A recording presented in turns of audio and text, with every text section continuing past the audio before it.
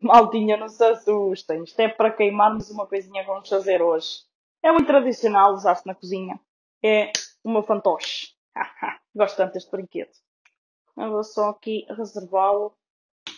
Não sei se pelos ingredientes conseguem entender o que é que vamos fazer hoje, mas uma receita francesa muito tradicional, uma sobremesa hum, sonho. Creme brulee. Pois é, hoje até estou aqui arranjadinha para a ocasião, para fazermos aqui pastelaria, temos que estar à altura, não é? Cabelinho arranjado, uma, uma dolma mesmo ali profissional. Isto, isto tem um motivo, esta roupa também, é para desmistificar algumas questões sobre a palavra chefe. Se vocês não sabem o que eu estou a falar, o link vai estar na descrição. Mas vamos falar daquilo que interessa neste vídeo, que é fazer a receita. Vamos então ver o que é que nos pede aqui na segunda câmara para pré-aquecer o forno a 120 graus, calor superior e inferior. Ai, Jesus! Pronto, já está a pré-aquecer. Entretanto, também já tenho aqui o meu tabuleiro. Uma das coisas que eu também vou encher é o meu fervedor com água. Daqui a bocado vamos utilizar para colocar nas formas, porque o creme brulee faz sem banho-maria, portanto eu vou já preparar isso também. Máximo. Está, está perto do máximo. Ok. Temos que seguir as regras dos equipamentos. Se diz que é o máximo, é o máximo. A gente não pode passar. Senão, Fazer um corte longitudinal de uma vagem de baunilha, retirar o miolo raspando e deitando ambos no recipiente de mistura. Mais uma vez, eu não tenho vagem, mas uh, vamos colocar o nosso aroma à baunilha com os 250 gramas de leite. Gostam da minha vaquinha? Olha que coisa mais fofinha! Ah, esta dá mesmo leite, olha, tem aqui 250 gramas.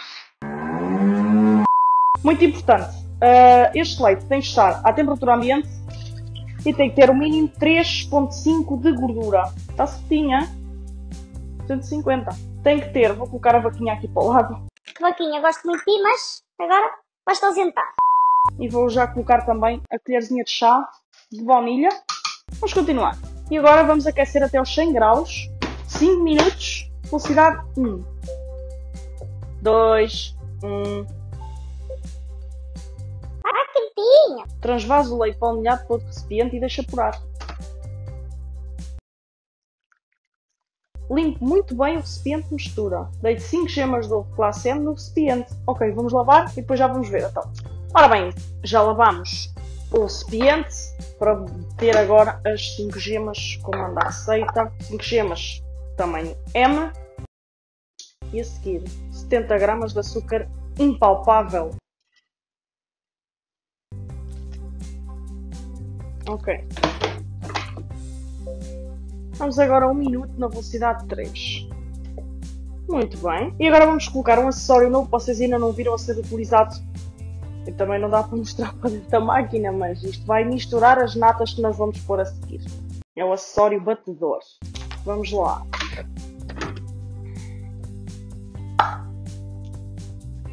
Ele é colocado. E agora até vou levantar a câmera para aqui. Encaixa assim e ele vai girar com as lâminas. Portanto, ele nunca vai tocar nas, nas lâminas porque ele prende. Pronto, ele para mim vai ficar assim. Ok? E agora vamos deitar 250 de natas. Cá está. E agora velocidade 4, 30 segundos. Vamos lá.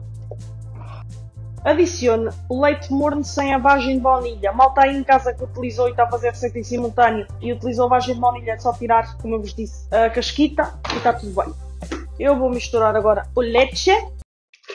Acho que é suposto aquecer aos 100 graus, que é para ele.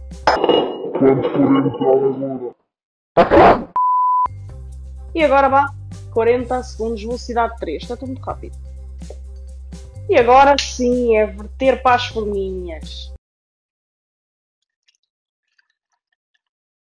Ele já está com uma cor de creme brulee, malta. Ora bem, isto rendeu-me 600 ml.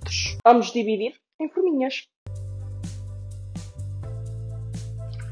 Maltinha, uma coisa. Uh, esta receita manda fazer em 7 formas, com os tais 10 a 12 de diâmetro e 4 de altura.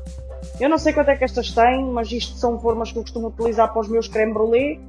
E eu achei que o que me deu desta receita, que foram 600 ml, que era melhor distribuir por 4 formas. Então deu mais ou menos, deu mais ou menos não, deu 150 a cada um e assim ficou. Agora vai ao forno, vamos ferver aqui a água, que é para depois colocar o banho-maria e cozinhar durante uma hora. Vamos ver então, só confirmar. Coloco um tabuleiro, ir ao forno e ver a água quente suficiente no tabuleiro até as forminhas ficarem dentro da água a 3 quartos. Deixa a pasta colher no forno durante uma hora. Relembro, 120 graus. Depois é só retirar as forminhas, deixar arrefecer o creme. Assim que arrefecer, vamos usar este ninho com açúcar mascavado, mas depois já falamos melhor. Vou pôr isto no forno. Até já! Maltinha! Oh, sai daí! Ai, maltinha, cá está. Os nossos cremezinhos brulé. Temos que deixar que eles arrefeçam. Que é para colocar o açúcar por cima, que é para ver se ele não... Se ele não derrete antes de o queimarmos com isto. Mas olhem para lá. Oh. Olha daqui a bocadinho. Estão lindos. Está maravilhoso. Que o bocado já vamos encher aqui com açúcar de merrara, queimar.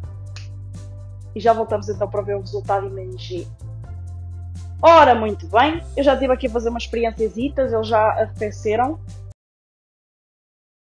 Ainda não está aquela crocância porque eu também não meti aquela camada de açúcar, nem deixei endurecer. Mas vocês podem ver aqui um bocadinho. Hum. Maravilhoso. Eu vou fazer aqui mais um, que é para vocês verem. Pegar aqui uma boa quantidade de açúcar. Eu, para mim, um creme brulee tem que ser coberto de açúcar. E temos que ser bastante rápidos para queimar. E com muito cuidado. Está aqui muito açúcar e pode, pode acontecer como aconteceu há bocadinho. Que é arderem com a vossa mão. E não, não é boa ideia.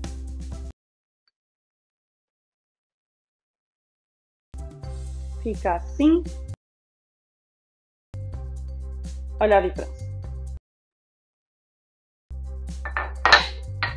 Depois é só esperar que ele forme assim a casquinha crocante.